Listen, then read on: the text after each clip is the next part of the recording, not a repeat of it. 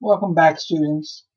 So we have looked at uh, the structure of your manuscript and then some keys for writing uh, more clearly and organizing your manuscript. Uh, chapters 2 and 3 in your APA uh, book. We're going to highlight now chapter 4. And so we can see on this uh, our menu page that chapter 4 deals with the mechanics of style. So what do we mean by that? So we can click on the chapter and see that this chapter deals with general rules for clear, consistent presentation of scholarly work. We will discuss the basic tools such as punctuation, spelling, capitalization, italics, abbreviations, and numbers. So the mechanics of style here, we're really talking grammar rules. So let's uh, jump right in. I'm going to give you a bunch of examples of different things here and there. Okay. Uh, so, spacing and punctuation. Space once after all punctuation as follows. After commas, colons, and semicolons. After periods that separate parts of a reference citation. After the periods of the initials in personal names. Okay. Use two spaces after the end of punctuation of a sentence. So basically, you're going to use one space after everything except the end of a sentence, and at that point, it will be two spaces. Okay? So let's move on. Now we're going to get into uh, most of this stuff you, you've heard of, but we'll see some things that maybe uh, are a little bit unfamiliar to you. First of all, let's talk about commas. Okay? Uh, the biggest issue with commas is the very first thing here between elements including before the word and and or in a series of three or more items. The height, width, or depth in a study by Stacy, Newcomb, and Bentler. Notice the comma is before the and and before the or. You have to put that in according to APA.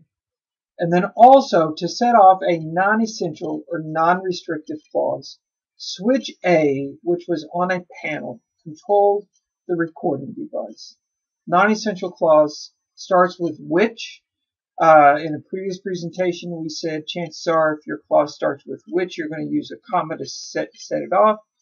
Um, if you are talking something specific, you will say that uh, switch A that is on the green panel uh, controlled the recording device. Uh, in that sense, uh, switch A is on different panels and we're wanting the one on the green panel. Uh, more use with commas to set off two independent clauses separated by a coordinating conjunction. Okay, so you have two independent clauses here. Cedar shavings covered the floor, period. The walls were covered with sod, period. Since we're using a coordinating conjunction and, to join these two sentences, we're going to set the two clauses off with a comma. Cedar shavings covered the floor, comma, and the walls were covered with sod. Okay? That's when you put a comma before an and in the middle of a sentence like that. To set off the a year in an exact date, August the 25th, 2005 was the correct date. Uh, notice we put a comma after August 25th and after 2005. Okay, so it's an exact date. To set off a year in a parenthetical reference citation. Jones, comma, 2001. And then here's one that is quite often missed, and that is to separate groups of three digits in most numbers of 1,000 or more. You will do this if you have numbers greater uh, than 999 for our class. So some good things about commas. Uh, pretty straightforward. Everybody pretty much understands commas. Let's move to semicolon. A little bit less understood. Semicolons are used to separate two independent clauses that are not joined by a conjunction. So here we say the participants in the first study were paid those in the second were unpaid. So we have two independent clauses. Uh, the participants in the first study were paid, period. those in the second were unpaid, period. They could be independent. We're going to join them together without the use of a conjunction. If we had a conjunction in there such as and, we would have said comma and those in the second. That was in the previous slide. The other main use of a semicolon then, uh, in addition to uh, two independent clauses not joined by a conjunction, is separating uh, series uh, elements in a series that already contain a comma within them. We don't see this very often, but we do see it. Okay, so for example, the color order of the boxes was red, comma, yellow, comma, blue, semicolon, blue, comma, yellow, comma, red, semicolon, yellow, comma, blue, comma, red. That tells the reader uh, that the boxes were in three separate orders. Okay, and it tells us what those orders were uh, each time. So you can see how that works here uh, using uh, the semicolon to separate uh, lists that already have commas within them. Um, and now probably the, the, the lesser known use is the colon. Okay. So we use a colon, and I'm going to give you some examples here, a bunch of different uses of colon, but here's the probably the main thing that we would use it in a sentence. Between a grammatically complete introductory clause, one that could stand as a sentence by itself, and a final phrase or clause that illustrates, extends, or amplifies the preceding thought.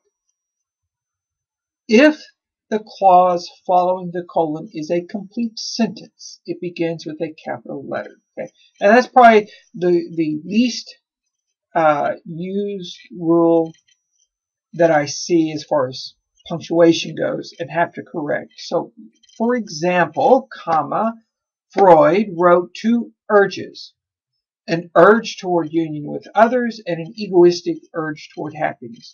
So notice that uh, the the first clause here is our introductory clause, and this could be a complete sentence. For example, Freud wrote to wrote of two urges. Period. That could be a complete sentence. The second clause, uh, an urge toward union with others and an egoistic urge toward happiness, is not a complete sentence, but it explains what those two urges are that we talked about in that introductory clause. Therefore, we use a colon here. Um, that one's pretty pretty good as far as people getting that. Um, so the second one, though, notice this. They have agreed on the outcome. Informed participants perform better than do uninformed participants. So here you have two complete uh, sentences. They've agreed on the outcome, period. Informed participants perform better than do uninformed participants, period. Um, but because that second sentence is an extension or an amplification of the first, we can actually join them with a colon. But notice what we do is we just single space after the colon, and then we capitalize the first letter of that second clause. Not used as much, and when it is used, it's usually used incorrectly. Okay, uh, so it all depends on the clause that comes after the colon uh, whether it is a complete sentence or not. If it's a complete sentence by itself, then you need to capitalize it. Otherwise, it's a small letter. So just a few other things. Colons are used in ratios and proportions, 7 to 1. In references between city and publisher, New York colon space, Wiley. Uh, and that's it for colons. Okay, now, double or single quotation marks. Pretty straightforward again here. Um, I want to show you the thing with quotation marks that we'll usually see get wrong. Uh, use double quotation marks to enclose quotations in the text. The only time you use single quotation marks are if you're quoting something within a quote. Okay. So for example, Miele 1993 found that the placebo effect which has been verified in previous studies, disappeared when only the first group's behaviors were studied in this manner. That's a misspelling. Uh, so a few things here I want to point out. So first of all, placebo effect is something that Miele quoted from his source. And so what we're doing here is we're quoting Miele from page 276. Um, but his source had already quoted the placebo effect. So we take that out uh, of the double quotations that Miele used and we put it in single quotations within the larger text of what he uh, said here. So it's a quote within a quote. The other thing is notice where our quotation marks end. The double quotation marks end at the end of the quote, but when you give a direct quote, you have to give a page number according to APA. The page number and the period go outside the end of the quotation marks. And that's what we see right here. And this is a very common error, uh, figuring out where to put the period and the page number and all the quotation marks. So you just uh, quote the direct quote, your page number goes after it, and then the period ends everything. So it makes sense. They're not going to quote their own page number, so that would not be inside the quote. And then the period at the end just makes the whole package complete. It's the bow around the package. Uh, a little bit more in block quotations. Most people don't know what block quotations are. Any quotation of 40 or more words. You do not use quotation marks to enclose block quotations. You do use double quotation marks to enclose any quoted material within a block quotation. It's just the opposite of what we said. So since you're not using double quotation marks around uh, the block quotation, uh, if you're quoting something inside of it, you do use the double quotation marks and it's a little bit different as far as the uh, page number uh, because you have to cite a double quotation or a block quotation just like normal. So please check your APA manual on where to put that. The use of brackets. Uh, we saw brackets in an example earlier. Here's another example. When his own and others' behaviors were studied, uh, Hanisch 1992, page 24. So we quote Hanisch 1992 as our source, or that's our that's our citation. We include the page number because we have a direct quote. But when what we want to do here with the brackets is identify exactly whose behaviors were studied. And so we put his own and others inside the brackets. That did not appear in the original quote, but we want to give that kind of information, and so that's why we put it uh, in there so the reader will understand uh, whose behaviors it is we're talking about. That's the use of brackets, okay? So capitalization, for the most part, straightforward. A couple of things that people generally miss, though, on capitalization. Uh, we know words beginning in a sentence. If the name of the author begins with a lowercase letter, it should be capitalized. So Duvall, 1994, concluded the following. The DE or the, the D in Duvall is normally used as a small letter or written with a small d. But since it begins the sentence, we have to capitalize it. Okay? And then what we talked about earlier, the first word after a colon that begins a complete sentence. The author made one point. No explanation that has been suggested so far answers all questions. So those are two complete sentences, but we're going to join them together with a colon. So we have a space after the colon, and because the second clause is an independent clause, we're going to begin it with a capital letter. Okay? So those are, uh, everything else is pretty straightforward as far as capital letters. Now let me tell you what is not capitalized that I typically see things such as course subjects. Uh, the, the teacher, for some reason, uh, students like to capitalize teacher and principal. Those things are not capitalized. Uh, only thing in course subjects that are capitalized are proper nouns like English and Spanish. Okay. Otherwise, course subjects are not capitalized. Um, so moving on, uh, italics. So when do we use italics? We have a couple of slides here that deal with the use of italics. So I'm just going to go through the list here. Titles, periodicals, and microfilm publications. Some of you don't even know what microfilm are, but uh, trust me, it's it's a thing that is out there. So The Elements of Style by Strunk and White was a book that I used dealing with uh, grammar. It has now obviously since been replaced with APA. We don't usually refer to uh, Strunk and White much anymore. But The Elements of Style is the name of a book. So that's the title. Uh, you're not going to deal with any science probably, but genera, species, and varieties are uh, italicized. Introduction of a new technical or key term or label. So the term backward masking. So because we're introducing this term as a brand new term, we're going to put it in italics, okay? The box labeled empty. So here we're, we're uh, it's a key term defining the box, okay, which one we want specifically. Uh, and then finally on this slide, letter, word, or phrase cited as a linguistic example. So for example, words such as big and little, typically what we see are those put in quotation marks, and that's an error. They need to be put in italics. Or the letter A. Again, typically that's put in quotation marks by error. It should be put in italics. Uh, another list uh, for using italics, not so much anymore here, but uh, words that could be misread. Okay, so here we say the small group, uh, meaning a designation, not a group size. So we're not saying the small uh, group, we're talking about the type of group, okay, the group designation. Uh, if it were the size of the group, um, then it would be redundant. Okay.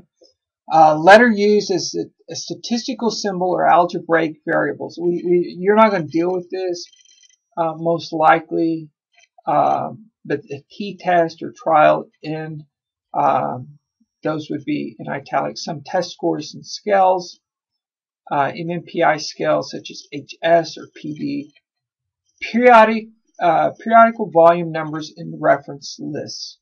Uh, this you will use, and we will look at this at the uh, last uh, presentation dealing with references and citations.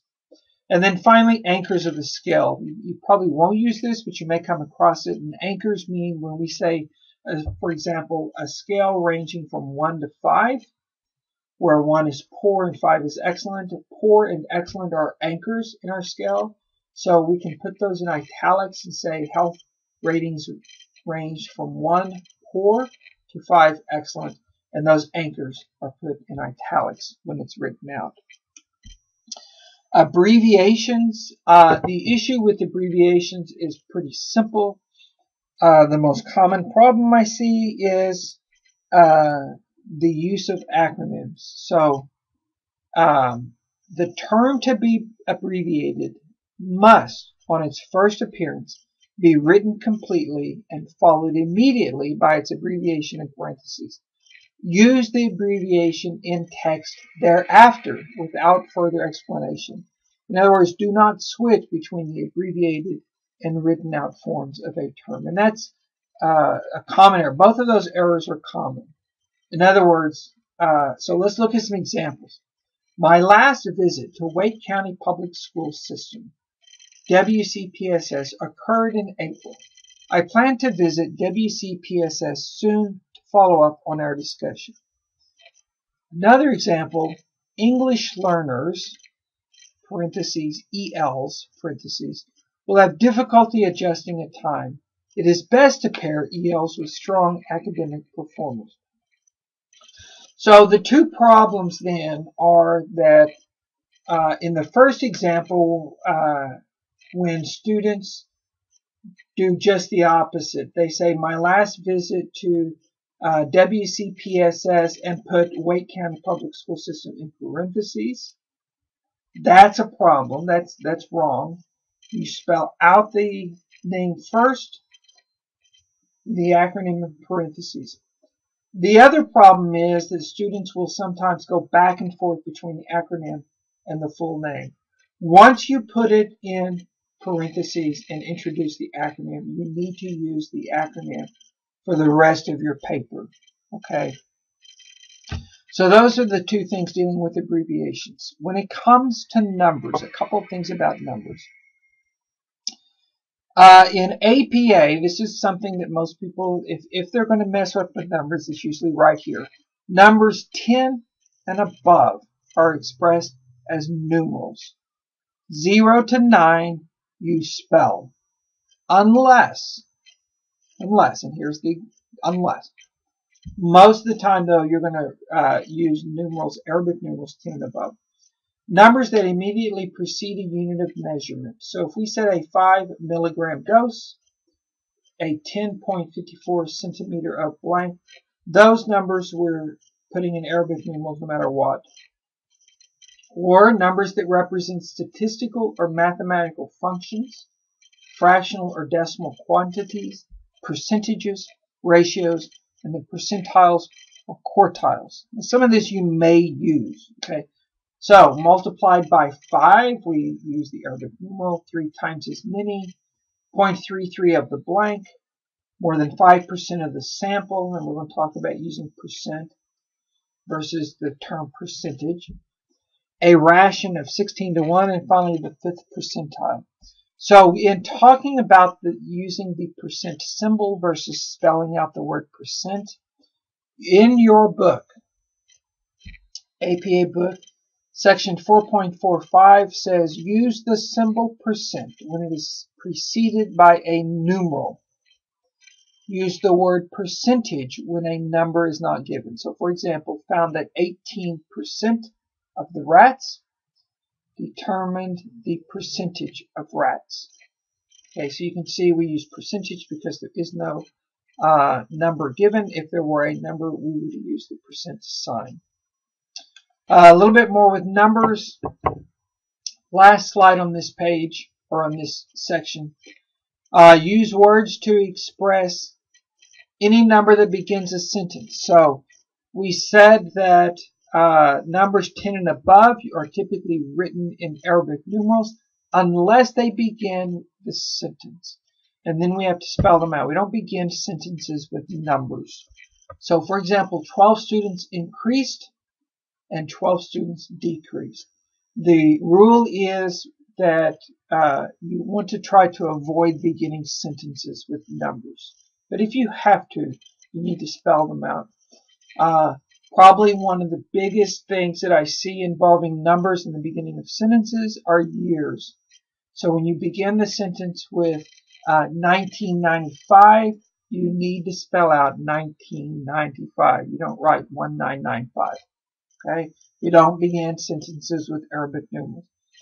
The other thing is that we're going to use words to express common fractions. One fifth of the class or two-thirds majority. Those are common fractions, and so therefore we use numbers. Uh, to form plurals of numbers, and this is a common, common mistake when it comes to numbers. Whether expressed as figures or as words, we add an S or an ES alone without the apostrophe. In APA, we do not use an apostrophe S. So fours, four becomes fours, sixes or six becomes sixes, 1950 becomes the 1950s with just an S, and 10 and 20 become 10s and 20s with just the S. Okay, so there are no apostrophe S's when we're making plurals. An apostrophe shows possession, and we're not showing possession, we're making plurals. It makes perfect sense when you think about it. Okay, so that is it for uh, some grammar stuff. In the next presentation, we're going to skip chapter 5 and we're going to move up to uh, crediting our sources and how do we uh, avoid plagiarism and credit our sources accurately. And that will be on the next presentation.